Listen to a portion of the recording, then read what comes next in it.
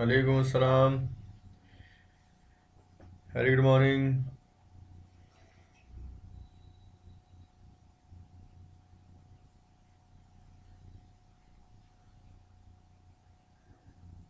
Class start नहीं हुई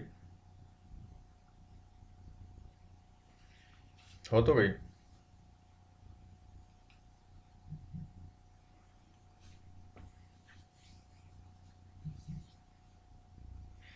good morning good morning good morning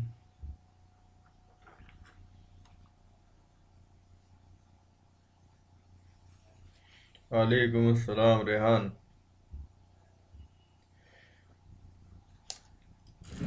good morning Vaishnavi चलो second मार्च आज और हम कर रहे हैं अपना करंट अफेयर्स हुआ शुरू बढ़िया जी एकदम रेहान एकदम चंगे हैं आप बताइए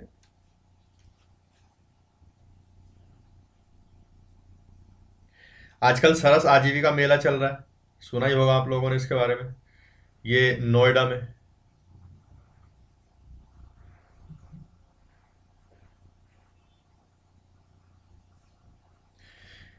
जो केंद्रीय ग्रामीण विकास मंत्री हैं नोएडा हाट में सरस आजीविका मेला 2021 का उद्घाटन उन्होंने किया ये जो सरस मेला है नी तुम्हारे ग्रुप में है कनीज वो कनीज के प्रोडक्ट भी यहाँ पे आए हुए हैं मतलब उसके प्रोडक्ट ऐसे नहीं जो उसके जो ब्लॉक वाला एरिया है वहाँ पर लोग जो प्रोडक्ट बना रहे हैं वहाँ वो यहाँ पे आए हैं मैं अच्छा हूँ वैसे भी आप बताइए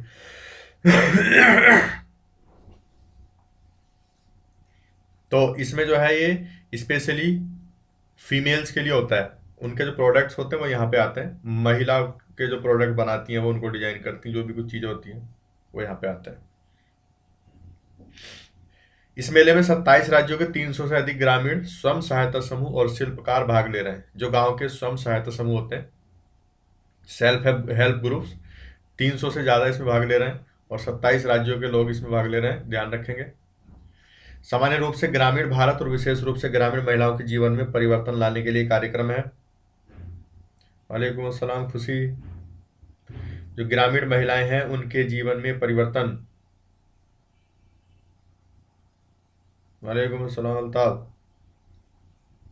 जब आप लोग अधिकारी बनोगे ऑफिसर बनोगे तो इस टाइप के प्रोजेक्ट्स पे आपको काम करना पड़ता है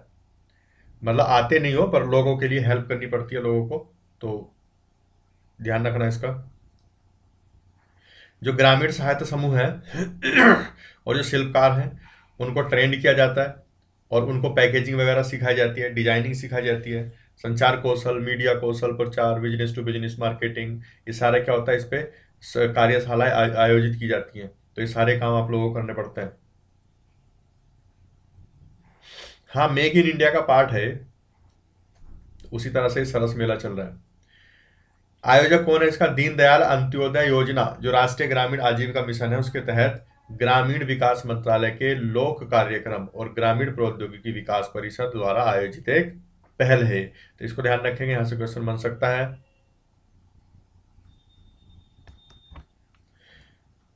एक जो है कपाट ग्रामीण विकास मंत्रालय द्वारा सरकारी और गैर सरकारी संगठनों के बीच इंटरफेस प्रदान करने के लिए स्थापित एक स्वायत्त निकाय है भारत के ग्रामीण क्षेत्रों में जीवन की गुणवत्ता में सुधार लाने का प्रयास करता है ठीक है तो यहाँ से कुछ खास नहीं है बन जाएगा लेकिन ध्यान रखना इसको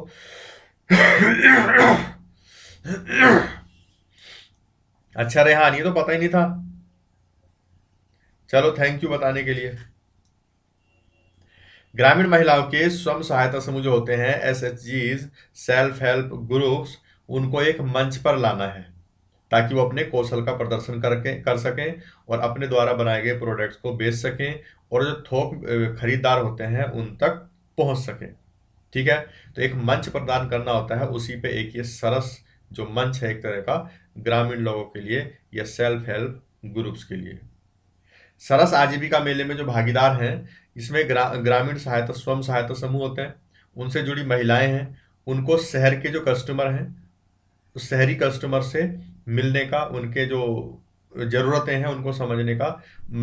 समझने की उनकी जो प्रॉब्लम्स हैं उनको समझने का एक रास्ता मिलता है मंच मिलता है यानी कि शहर के लोग कैसी चीज़ें पसंद करते हैं क्या उनको चाहिए होता है कैसे कैसे प्रोडक्ट्स वो पसंद करते हैं तो उनको समझने का मौका मिलता है इस मंच से अरे वर्णी कहाँ है वर्णी ये मेला महिला सशक्तिकरण के लिए एक एकीकृत दृष्टिकोण के रूप में कार्य करता है this fair fair serves as an approach to women's empowerment तो वुमेन एम्पावरमेंट में जब भी आप आंसर लिखेंगे इसको जरूर लिखना वुमेन एम्पावरमेंट में जब आंसर लिखेंगे तो इसको भी मेंशन कर सकते हैं कि गवर्नमेंट क्या क्या कदम उठा रही है सरस मेला भी उसका एक उदाहरण है तो नहीं पता था वैसे भी चलो बहुत अच्छा आज पता लग गया इस पहल को सरकार के आत्मनिर्भर भारत दृष्टिकोण के साथ जोड़ा जा रहा है यानी कि जो आत्मनिर्भर भारत है भारत का उसमें इसको जोड़ा गया है आत्मनिर्भर बनाने के लिए ग्रामीण लोगों को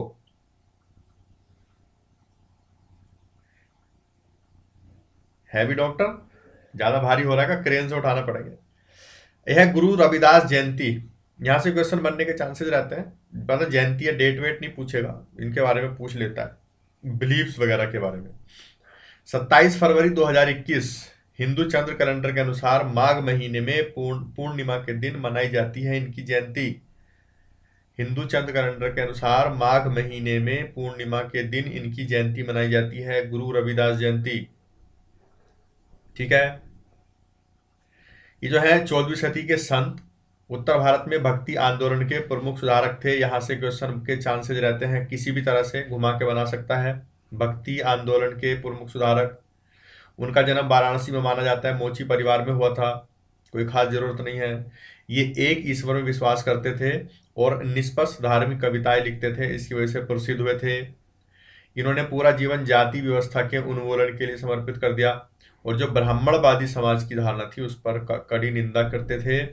और इनके जो गीत थे भक्ति गीत भक्ति आंदोलन पर त्वरित प्रभाव पड़ा इनका और इसके जो धार्मिक पाठ हैं इनके गुरु ग्रंथ साहिब में शामिल किए गए हैं यहाँ से भी क्वेश्चन बनता है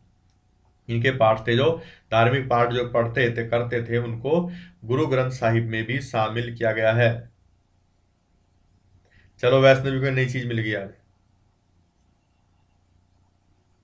हाँ अच्छा अच्छा है हैवी ड्राइवर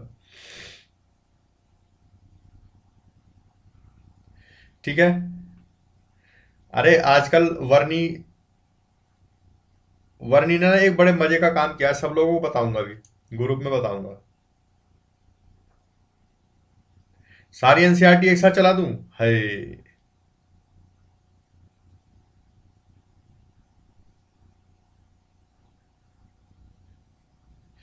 भक्ति आंदोलन का विकास जो है तमिलनाडु में सातवीं और नवी शताब्दी के बीच हुआ कब जो भक्ति आंदोलन है सातवीं से नौवीं शताब्दी के बीच सेवन टू सेवन और नाइन्थ सेंचुरीज के बीच में ये नयनार नैनार मतलब जो शिव के भक्त थे और अलवार मतलब विष्णु के भक्त थे यहाँ से क्वेश्चन बनता बन जाता है नैनार अलवार उनकी भावनात्मक कविताओं से कविताओं में परिलक्षित होता है यानी कि झलक मिलती है तो नैनार और अलवार जो थे वो उनकी जो कविताएं होती थी भक्त उनकी जो भक्ति होती थी कविताओं की उससे झलकता है ध्यान रखेंगे सातवीं और नौवीं शताब्दी के बीच में विकसित हुआ था इन संतों ने धर्म को एक उदासीन औपचारिक पूजा के रूप में नहीं लिया मतलब के सीधे धर्म है और पूजा कर रहे हैं पूजा पाठ उदासीन है उसके लिए बल्कि वो क्या करते थे जो पूज्य होता था और उपासक होता था यानी कि ईश्वर जिसकी वो पूजा करते थे और उपासक जो पूजा करता था उनका प्रेम पर आधारित एक बंधन अरे यार ये क्लास के टाइम पे मेरी आवाज गड़बड़ जाती है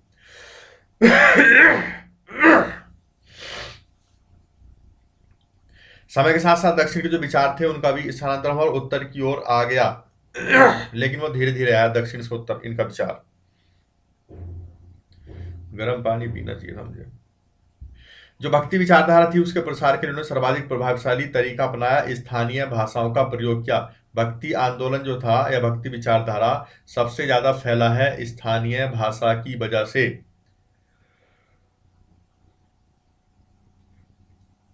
ठीक है इन्होंने अपने छंदों की रचना की और स्थानीय भाषाओं में उनको लिखा स्थानीय भाषाओं में लोगों तक पहुंचाया दर्शों तक पहुंच स्थापित करने के लिए इन्होंने संस्कृत कृतियों का अनुवाद की अनुवाद भी किया जो संस्कृत की बुक्स वगैरह थी उनको भी इन्होंने ट्रांसलेट किया ताकि लोगों तक पहुंचा जा सके क्योंकि संस्कृत आम लोगों की भाषा नहीं थी जैसे मराठी में ज्ञानदेव थे हिंदी में कबीर सूरदास तुलसीदास असमिया में शंकरदेव चैतन्य चंडीदास बंगाली हिंदी तथा राजस्थानी में मीराबाई ने अपने संदेश दिए हैं तो ये क्या था इसकी वजह से भक्ति आंदोलन काफ़ी पॉपुलर हुआ था ये आम लोगों की भाषा में इन्होंने लिखा था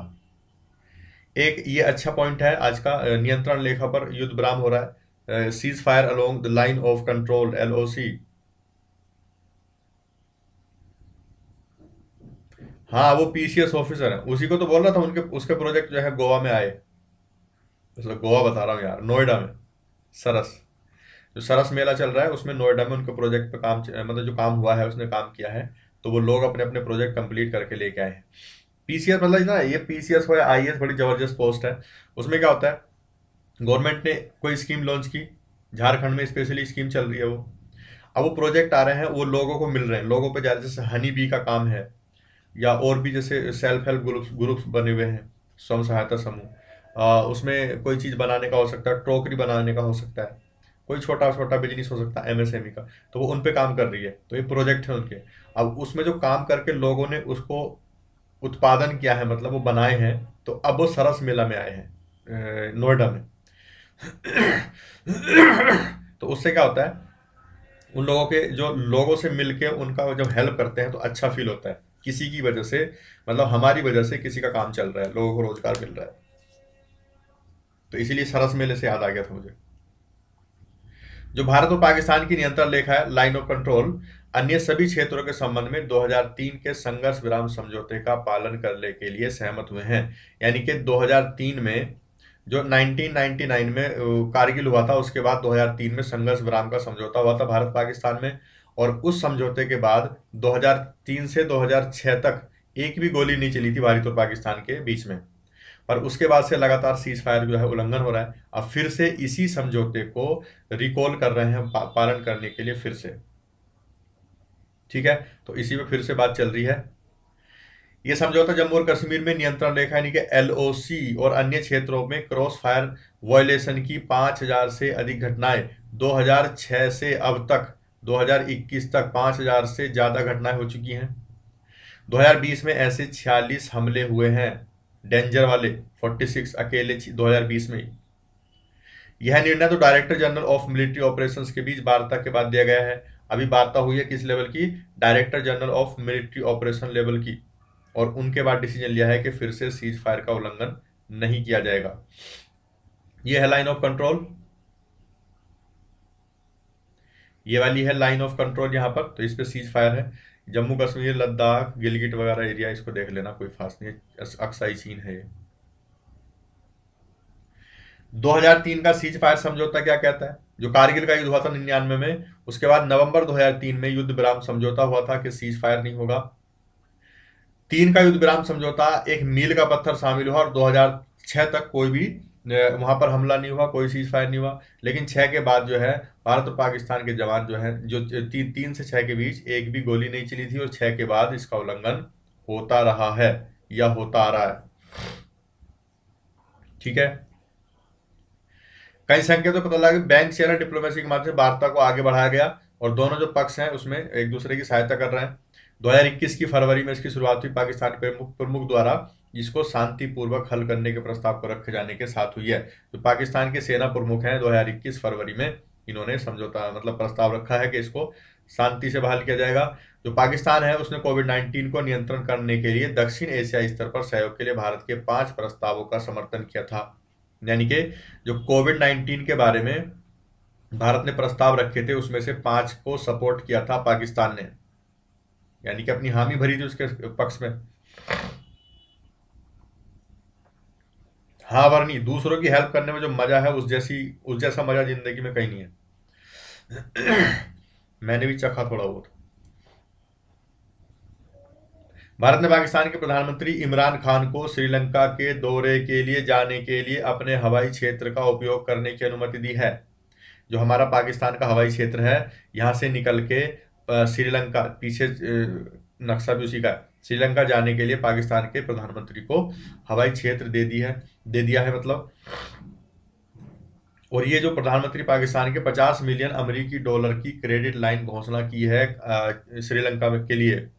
50 मिलियन अमेरिकी डॉलर की क्रेडिट लाइन की घोषणा की है आ, किसके लिए श्रीलंका के लिए और हवाई लाइन दी है जाने के लिए भारत ने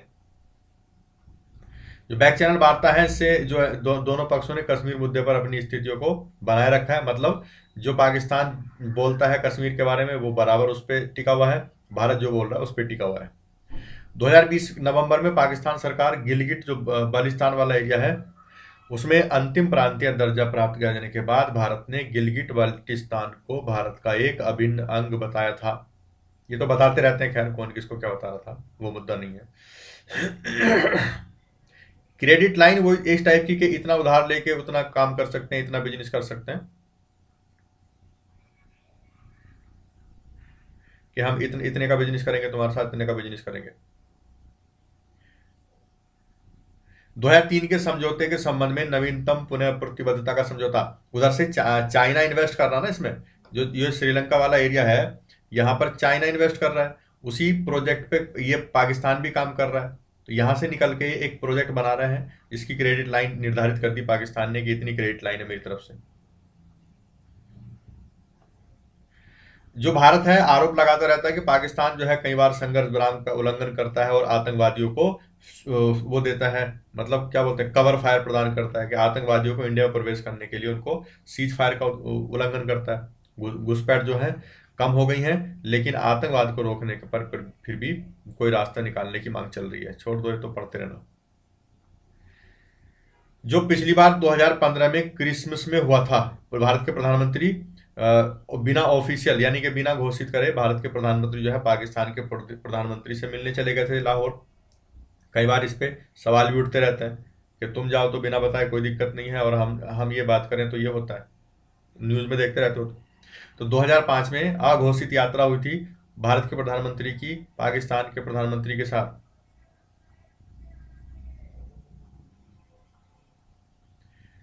नहीं वैष्णवी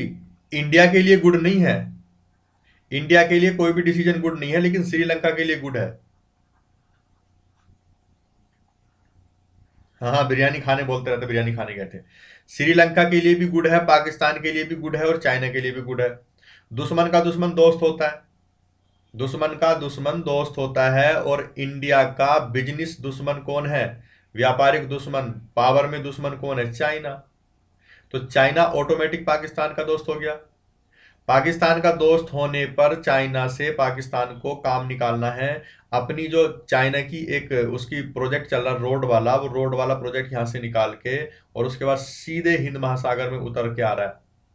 अरब अरब सागर में उतर के आ रहा है और यहाँ से सीधे चाइना इधर श्रीलंका जा रहा है तो यहाँ से घेर रहा है वो भारत को फिर उसका जो चाइना वाला सबसे इंडस्ट्रियल एरिया है तो यहाँ से इंडस्ट्रियल एरिया ये वाला है यहाँ और इंडस्ट्रियल एरिया से निकल के यहाँ से वो यहाँ आ रहा है और इधर से उसको लंबा चलना पड़ता है यहाँ जाने के लिए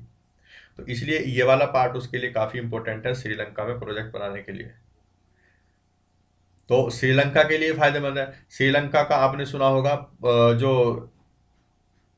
टेम्परेचर बढ़ रहा है तो श्रीलंका डूबने की कगार पर जाने वाला है मतलब अभी पूरी तरह नहीं पर एक वो है खतरा है कि श्रीलंका डूब सकता है सी लेवल अगर बढ़ गया तो तो श्रीलंका को प्रोजेक्ट चाहिए श्रीलंका को प्रोजेक्ट चाहिए काम चाहिए यस इकोनॉमिक हेल्प चाहिए उसको हम्म फरवरी फोर्टीन दो हजार उन्नीस को पुलवामा आतंकी हमला हुआ और बालाकाट और बालाकोट ऑपरेशन के कारण द्विपक्षीय संबंधों में लगातार गिरावट आई सुना देखा ही होगा आप लोगों ने न्यूज वगैरह में उस टाइम पे कितने बुरे हालात हो गए थे मतलब बुरे संबंध हो गए दोनों देशों के तो अब उसको बहाल करने पर काम चल रहा है संयुक्त राष्ट्र द्वारा कश्मीर जो युद्ध है 1948 की संघर्ष संघर्ष विराम रेखा ही बाद में नियंत्रण रेखा के रूप में सामने आई थी जो 1948 का संघर्ष विराम हुआ था उसी रेखा को यानी एलओसी को ही नियंत्रण रेखा घोषित कर दिया था बाद में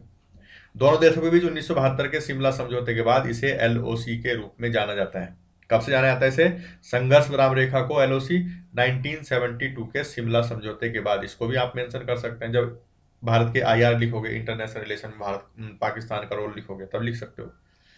एलओसी का सीमांकन दुनिया के सबसे ऊंचे युद्ध क्षेत्र सियाचीन ग्लेशियर तक किया गया है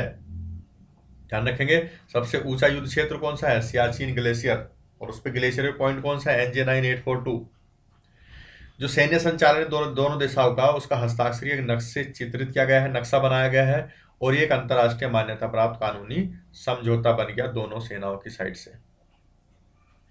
बैक चैनल डिप्लोमेसी क्या होती है ये एक आधिकारिक नौकरशाही संरचना और प्रारूपों के बाहर अंतर्राष्ट्रीय विवादों को सुलझाने विदेश नीति के उद्देश्यों को प्राप्त करने के लिए राज्यों द्वारा प्रयोग में लाई जाने वाली राजनयिक रणनीतियों में से एक है अगर तुम लोग बन जाते हो मान लो आईएफएस सेलेक्ट हो जाते हो फॉरेन सर्विस में फॉरेन सर्विस में सेलेक्ट होके और कम एज में हो जाते हो अंडर ट्वेंटी फाइव हो जाते हो अभी तुमने उसका नाम सुना होगा नहीं अतर आमिर का जो टीना डाबी के साथ वाला वो है मतलब हस्बैंड रहा है पता नहीं तलाक हुई कि नहीं हुई या सही बात है अफवाह है वो तो मुझे पता नहीं पर अतर आमिर का नाम सुना ही होगा अभी जम्मू का कमिश्नर बनाया है म्यूनिसिपल में कमिश्नर बनते हैं इतनी कम उम्र में कमिश्नर की पोस्ट मिल गई वैसे ही अगर आईएफएस आप लोग बन जाते हैं अंडर ट्वेंटी फाइव तो एक जो विदेश लेवल की वार्ताएं होती हैं विदेश लेवल की ये तो खैर आर्मी लेवल की थी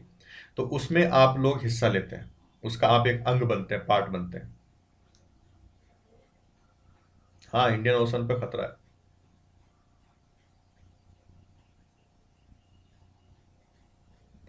चाइना ने तो प्रॉब्लम क्रिएट कर दी अब तो बड़ी मुश्किल है रिलेशन सही करना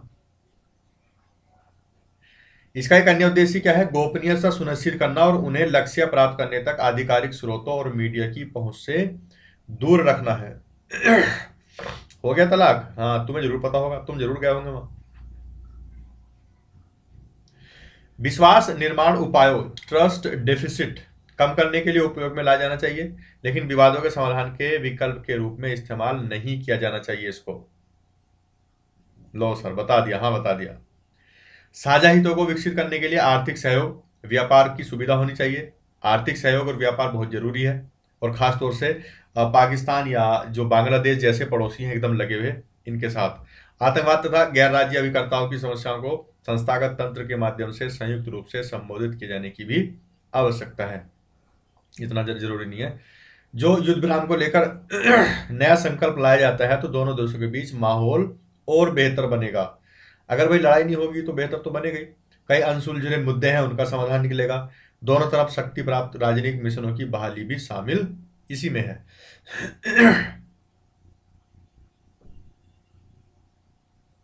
किसकी करासत टीनी डाबी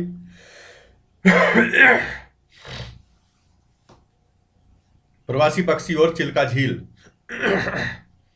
जो उड़ीसा की चिल्का झील है वहाँ पर जब तापमान बढ़ रहा है तो जो चिल्का झील और भितरकनी का राष्ट्रीय उद्यान है जो प्रवासी पक्षी हैं उसके वो पहले से कम हो रहे हैं यानी कि छोड़ना शुरू कर दिया उन लोगों ने तापमान बढ़ने की वजह से उन लोग जो पक्षी हैं प्रवासी पक्षी उन उन्होंने इसको छोड़ना स्टार्ट कर दिया है फरवरी में इन स्थानों को छोड़ना शुरू कर दिया यानी कि फरवरी ठंड का महीना माना जाता था और ये जो है इनका छोड़ने का महीना नहीं था पर इन्होंने फरवरी में छोड़ना शुरू कर दिया उनको क्योंकि जो तापमान है अभी से बढ़ गया है अरे इसने कराया इसके बस की ना है जो प्रवासी पक्षियों का आगमन है यहां पर नवंबर से शुरू हो जाता है और मार्च के मध्य अप्रैल तक वैसे अप्रैल तक का जो है टाइम बहुत अच्छा माना जाता है किसी भी चीज़ के लिए टेम्परेचर नहीं बढ़ता है लेकिन फरवरी में इन्होंने छोड़ना शुरू कर दिया टेम्परेचर बढ़ने की वजह से तापमान यहाँ पर 39 डिग्री सेल्सियस तक बढ़ जाता है जब भी वापस आते हैं हर वर्ष सर्दी के मौसम में प्रवासी पक्षी एशिया के सबसे बड़े खारे पानी की लैगून चिल्का झील तथा भीतर कनिका और भारत के दूसरे बड़े मैंग्रोव जंगल में आते हैं यानी कि ठंडे मौसम की वजह से यहाँ पर ये आते हैं कम तापमान की वजह से और जब तापमान बढ़ना शुरू होता है तो ये चले जाते हैं लेकिन तापमान अब जल्दी बढ़ने लग गया ये कहाँ से Siberia Afghanistan Iran Iraq Himalaya क्षेत्र और मध्य यूरोप से उड़ान भरकर भारत आते हैं यहाँ का जो है आपको पता है एटमोस्फेयर गर्म रहता है तो ये भारत आ जाते हैं इधर से समय से पहले जाने की वजह क्या है पंद्रह से उन्नीस के दौरान फरवरी महीने में भुवनेश्वर जो चिल्का झील से पैंतीस किलोमीटर की दूरी पर है उसका तापमान चौंतीस से पैंतीस डिग्री सेल्सियस दर्ज किया गया था पंद्रह से उन्नीस के दौरान चौंतीस से पैंतीस डिग्री सेंटीग्रेड था कब फरवरी जो फरवरी माह था उसमें चौंतीस से पैंतीस डिग्री ठीक है जो जल का लेवल घट रहा है सी लेवल और तापमान बढ़ रहा है उसमें जल के स्तर में गिरावट आ रही है पक्षी जो है समय से पहले ही वापस चले जा रहे हैं जो पानी है वो कम हो रहा है पानी का लेवल सी लेवल और उसका जो ऊपर से टेम्परेचर बढ़ रहा है ये एशिया के सबसे बड़ा और विश्व का दूसरे सबसे बड़ा लैगून है लैगून झील होती है शीतकाल के दौरान भारतीय जो उपमहाद्वीप है उसमें प्रवासी पक्षियों को आकर्षित करने वाला सबसे बड़ा मैदान है यहाँ पर और उसी साथ उसी के साथ पौधे और जानवरों की संकट ग्रस्त प्रजातियों का निवास स्थान भी यही है जो उन्नीस है उसमें चिल्का झील को रामसर कन्वेंशन ध्यान रखेंगे इसको 1981 में 1981 में चिल्का झील को रामसर कन्वेंशन के रूप में महत्व मिला है इसको आर्द्रभूमि नामित किया गया है ठीक है पहली आर्द्रभूमि इसको नामित किया गया अंतर्राष्ट्रीय महत्व की 1981 में चिल्का में प्रमुख आकर्षक इराबदी डॉल्फिन है जिन्हें अक्सर सतपाड़ा द्वीप के पास देखा जाता है डॉल्फिन इराबदी डॉल्फिन सतपाड़ा द्वीप के आसपास सबसे ज्यादा अट्रैक्टिव आकर्षण का केंद्र होती है यहाँ पर यह जो लैगुन क्षेत्र है इसका 16 वर्ग किलोमीटर फैला है नलवाना द्वीप को उन्नीस में पक्षी अभ्यारण्य घोषित किया गया था नलवाना के बारे में दिन पढ़ा था हमने नलवाना द्वीप को 1987 में ये बहुत अच्छे अच्छे पॉइंट्स हैं इनको मेंशन करना आंसर में कालीजाई मंदिर ये चिल्का झील में एक द्वीप पर स्थित है कालीजाई मंदिर याद रख सकते हैं भितरकनिका राष्ट्रीय उद्यान उड़ीसा के समृद्ध जैव विविधता स्थलों में से एक है भितरकनिका राष्ट्रीय उद्यान ये मैंग्रोव प्रवासी पक्षी कछुए एस्ट्रिन मगरमच्छ और जो अनगिनत लताओं हैं वहां पर लताएं समझते हैं ना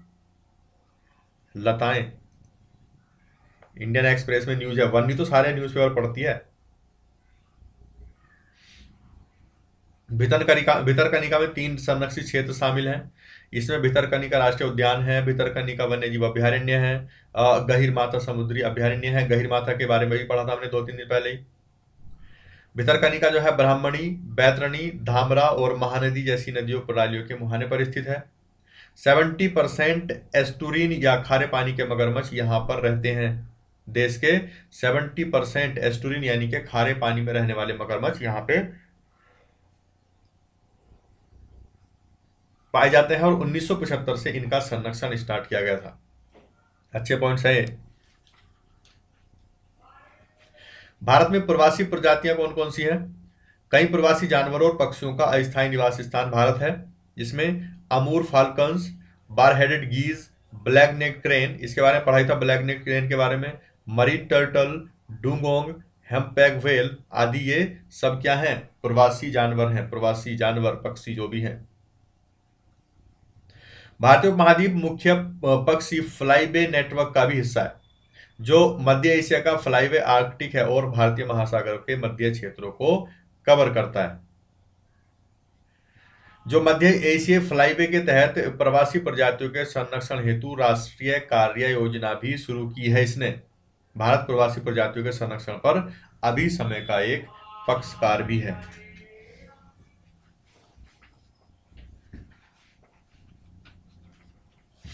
चलो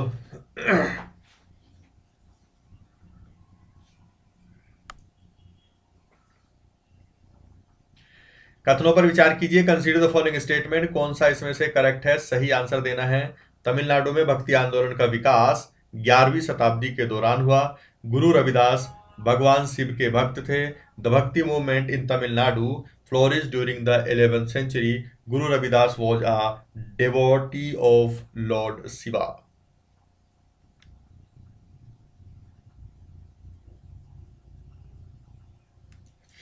क्या तेरी वाली मेरी वाली लगा रखा है फर्स्ट का आंसर दे रहे हैं सी रेहान बाकी लोग भी आंसर दो तो?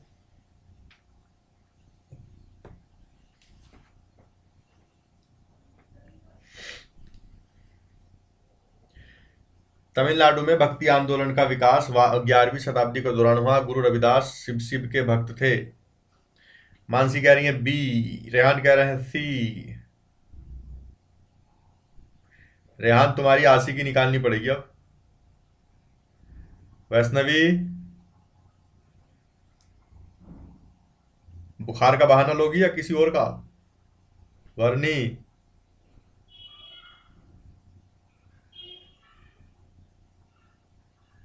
मैं बार बार पॉइंट आउट करके पढ़ाता हूँ कि यहाँ पे क्वेश्चन बनेंगे खुशी भी सी आंसर दे रही है वाह वाह वाह वाह तुम अगर सारे मेरे पास होते ना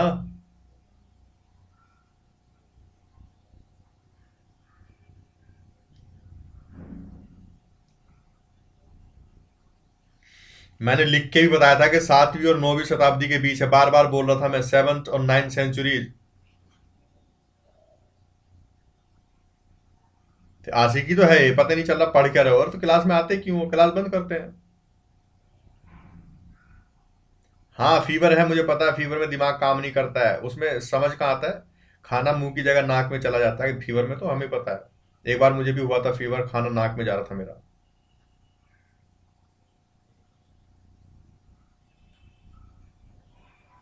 बी नहीं है अरे सैव धर्म के बहुत थोड़ी ना थे भक्ति है शिव के भक्त थोड़े ना थे भक्ति आंदोलन से रिलेटेड थे डी आंसर है दोनों गलत हैं इतनी डिटेल इनके बारे में पढ़ा दी अभी पीछे पूरे भक्ति आंदोलन का सारी चीजें बता दिया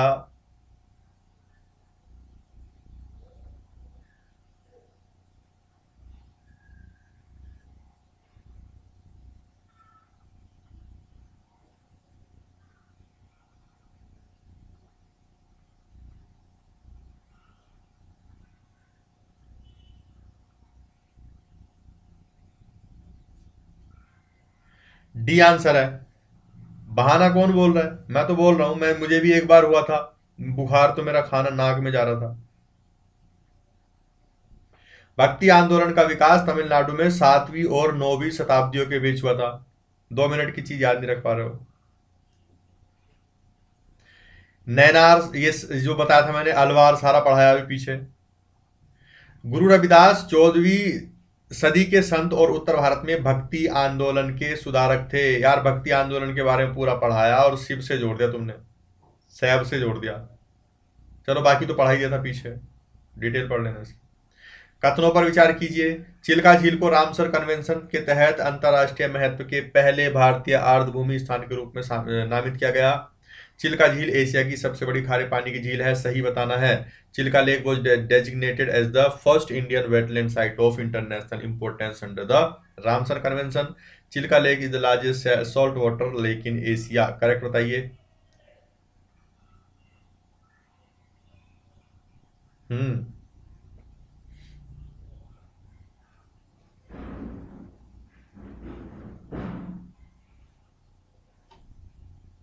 चिल्का झील के बारे में बताओ दोनों में से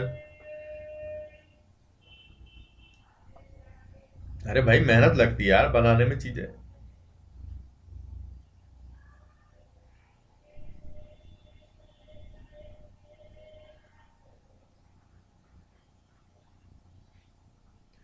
वैष्णवी कह रही है टू का सी सी सी फिर तुक्के मार रहे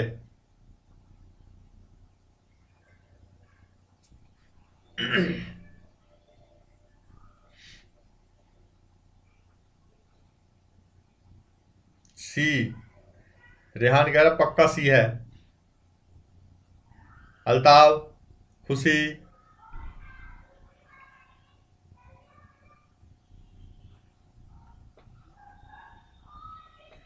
नालायको सी आंसर है इसका फर्स्ट और सेकंड दोनों करेक्ट हैं पहली आर भारतीय आर्द्रभूमि स्तर इसको बनाया गया था रामसर कन्वेंशन का और सबसे बड़ी खारे पानी की झील है दोनों करेक्ट है अभी पढ़ाया था मैंने पीछे पढ़ लेना इसकी डिटेल डिटेल तो पढ़ाई थी मैंने ठीक है आ जाओ थर्ड क्वेश्चन पर लोमानसी का बी होगा आनुवांशिक रूप से संशोधित फसलों के बारे में कथनों पर विचार कीजिए consider the following statement about genetically modified crops कौन सा सही नहीं है नहीं बताना है नॉट करेक्ट बच्चों का आतंक हो गया आज आनुवांशिक रूप से संशोधित जीआई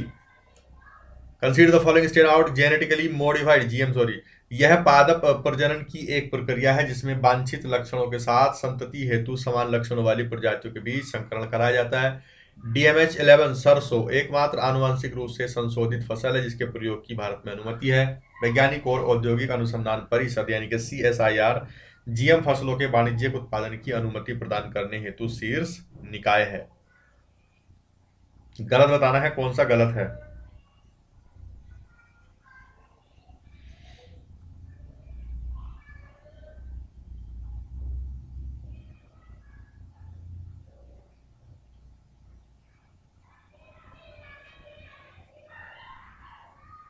रेहान कह रहे हैं बी गलत है बी का मतलब केवल सेकंड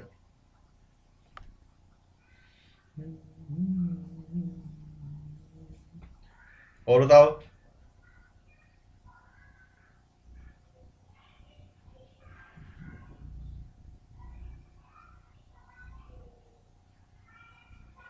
बी बी डी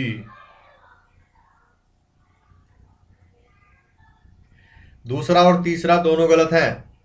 सरसों नहीं है कपास है बीटी कपास का नाम नहीं सुना जो जेनेटिकली मॉडिफाइड है बीटी कपास कपास पहली फसल है ठीक है और सी एस आई आर नहीं करता इसको पहला सही है दूसरा और तीसरा दोनों गलत है दूसरा तीसरा यानी कि सी आंसर है इसका पहला सही है आ, दूसरा सही नहीं है जो सबसे एकमात्र आनुवांशिक रूप से संशोधित फसल है बेसिलस थुरिंगनेसिस यानी कि बीटी कपास विदेशी जीन की है जो बीटी कपास को सामान्य कीट गुलाबी बॉल वॉम से सुरक्षा प्रदान करने के लिए विषाक्त प्रोटीन का श्राव करता है ये पढ़ लेना पूरा बीटी कपास है वो और इसमें जो भारत में आनुवांशिक इंजीनियरिंग मूल्यांकन समिति है वो शीर्ष निकाय है इसका जीएम फसलों के वाणिज्यिक उत्पादन की अनुमति प्रदान करता है आनुवांशिक इंजीनियरिंग मूल्यांकन समिति यानी कि जेनेटिक इंजीनियरिंग अप्राइजल कमिटी ध्यान रखेंगे आ जाओ कथनों विचार कीजिए कंसीडर द फॉलोइंग स्टेट में घुलित ऑक्सीजन नदी तंत्र में मौजूद ऑक्सीजन की मात्रा को मापने का एक उपाय है dissolve oxygen is a measure of the amount of oxygen present in a river system biological oxygen demand की अधिक मात्रा जल में कम घुलित ऑक्सीजन की मात्रा को इंगित करती है higher amount of biological oxygen demand indicates less amount of dissolve oxygen in water correct answer देना है कौन सा सही है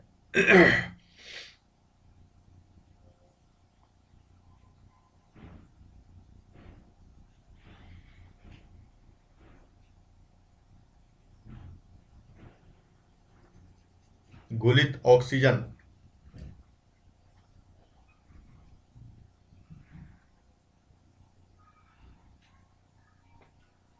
ये तो पता नहीं हुआ खैर दोनों करेक्ट है इसमें गुलित ऑक्सीजन मतलब पानी के अंदर जो होती है तो नदी तंत्र में मौजूद ऑक्सीजन की मात्रा को मापने का एक उपाय है अगर नदी तंत्र में नदी में किसी में देखा जाए कि ऑक्सीजन की कितनी मात्रा है तो उसको मापने का उपाय है और बायोलॉजिकल ऑक्सीजन डिमांड जो है अधिक मात्रा जल में कम घुलित ऑक्सीजन की मात्रा को इंगित करती है दोनों करेक्ट हैं पढ़ लेना डिटेल इसकी सरस आजीविका मेला 2021 के संदर्भ में विचार कीजिए with reference to the Saras livelihood fair 2021 twenty one consider the following statement कौन सा सही है करेक्ट आंसर देना है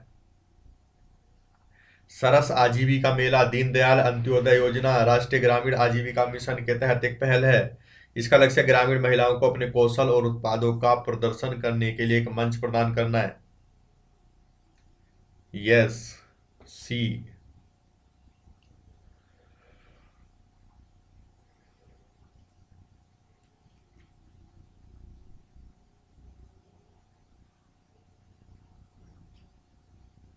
सरस फाइव का सी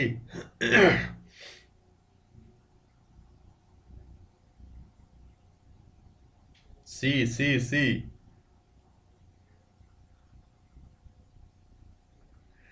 चलो ले चले तुम्हें सरस मेले में दोनों करेक्ट है इसका पहला भी और दूसरा भी अभी पढ़ाया था मैंने दीनदयाल अंत्योदय योजना जो थी दीनदयाल अंत्योदय योजना और राष्ट्रीय ग्रामीण आजीविका मिशन दोनों की पहल है दोनों के तहत और इसमें जो ग्रामीण महिलाएं हैं उनका सामान बेचने के लिए प्रदर्शन करने के लिए मंच प्रदान करना है दोनों करेक्ट हैं पढ़ा दिया ही था मैंने डिटेल पढ़ लेना इसकी ठीक है चलो काफ़ी अच्छे हो धीरे धीरे क्वेश्चन बढ़ रहे हैं इसके और बढ़ेंगे पांच क्वेश्चन आ रहे हैं फिर दस आएंगे दस के बाद फिर और मटेरियल बढ़ेगा तो एक से डेढ़ घंटे अभी तो लगभग एक घंटा भी नहीं हो रहा है डेढ़ घंटे क्लास हो जाएगी फिर ये धीरे धीरे ठीक है साढ़े ग्यारह स्टार्ट हो रही सवा ग्यारह तक खत्म हो जाती है पौन घंटे में डेढ़ घंटे क्लास चलेगी फिर चलेगी एक बजे तक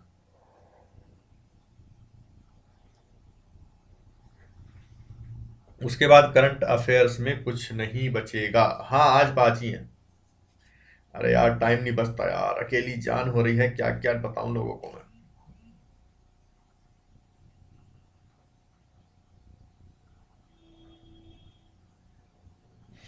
बीस क्वेश्चन लाया करूं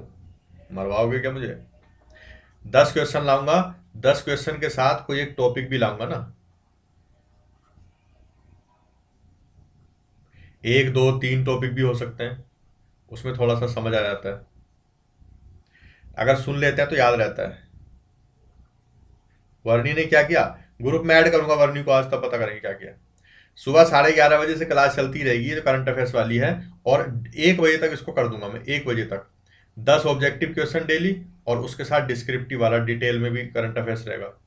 ठीक है बाकी रात को क्लास है एनसीईआरटी e की क्लास पे विचार करता हूँ अगर बढ़ानी है तो देखता हूँ ठीक है चलिए बाय पढ़ाई करो गुड नाइट सब खैर